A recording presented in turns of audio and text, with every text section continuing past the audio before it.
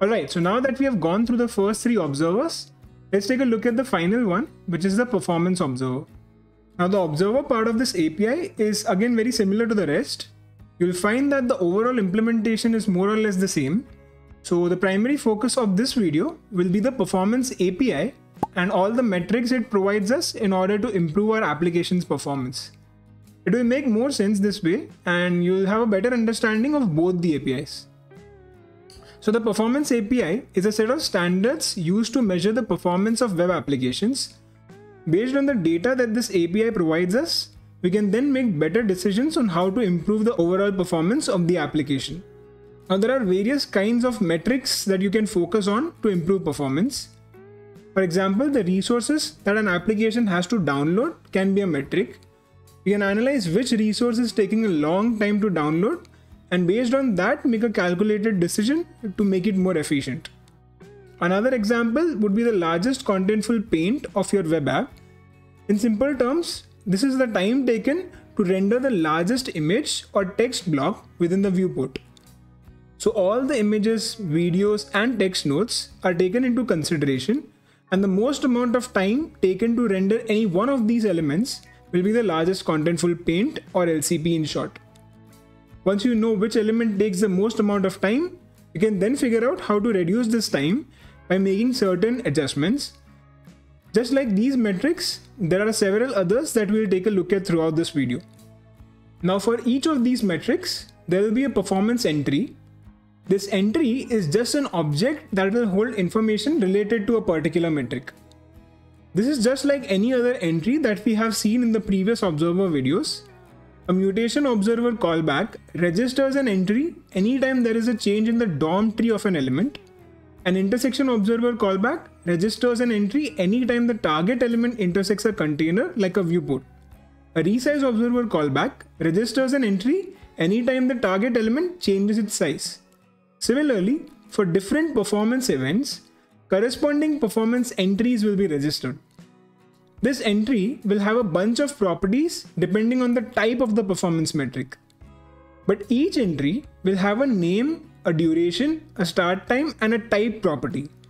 These four properties will be common across all of the entries. Now for the most part, you don't really have to do anything to get these entries. Most of the performance entries are recorded in the browser. You can directly access them via the performance object that's present on the global object.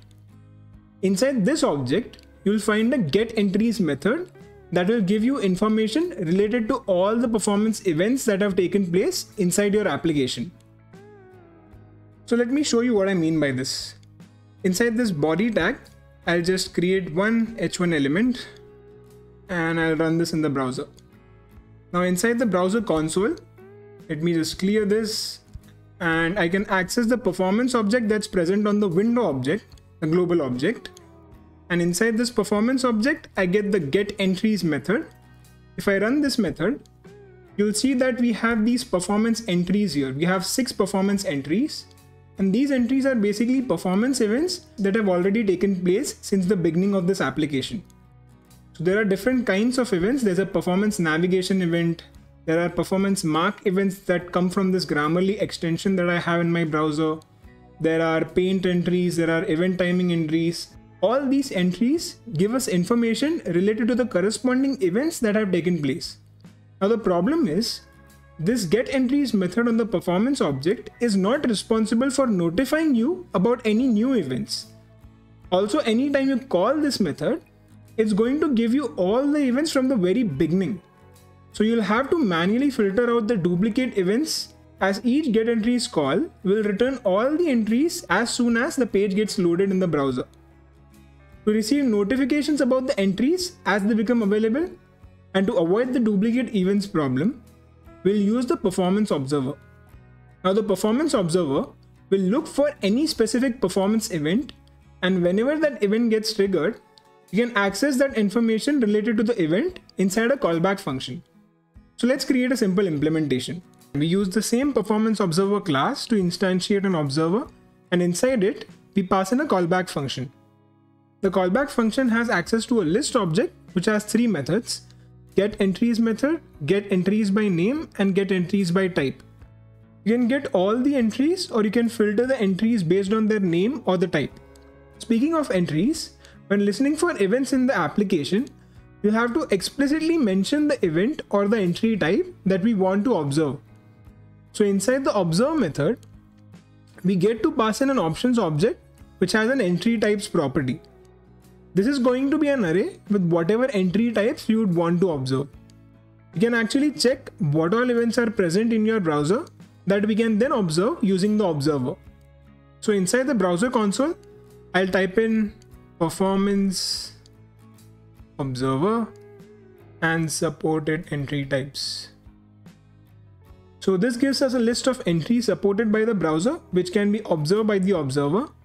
I'll just copy the whole list and paste it inside the observe method.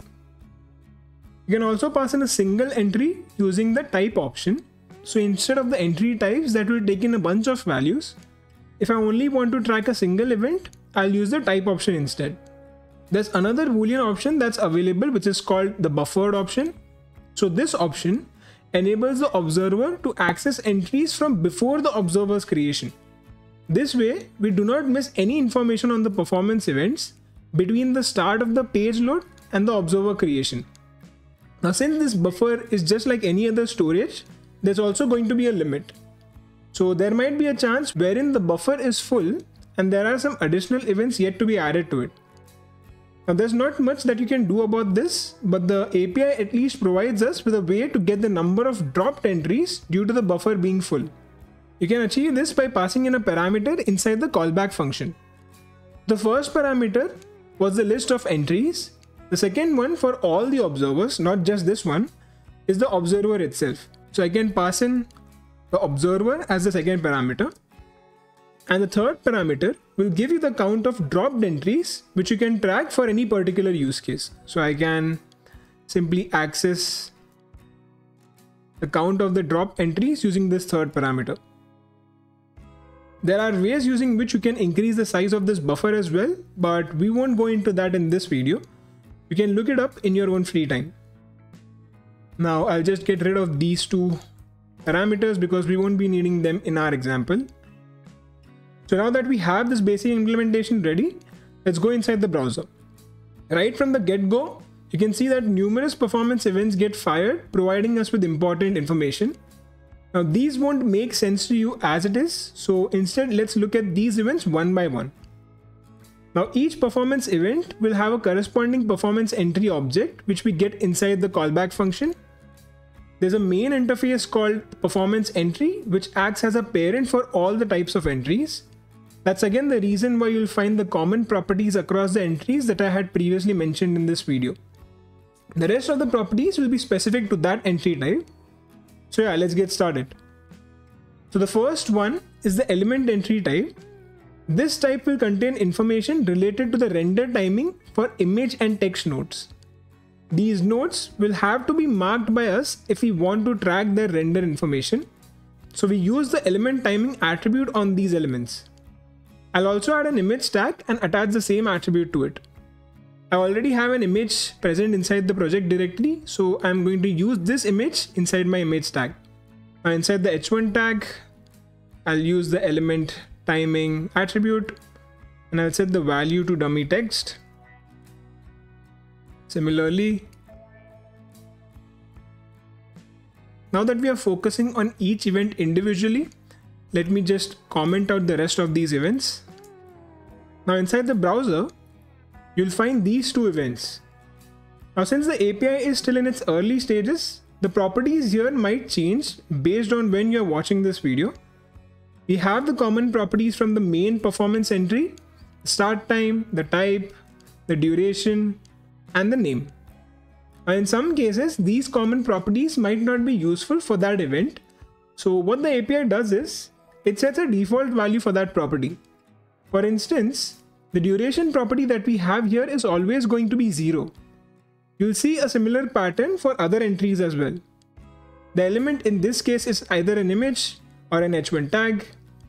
Entry type as we have set inside our observe method is going to be element. We don't have IDs for both of our elements so it's going to be an empty string.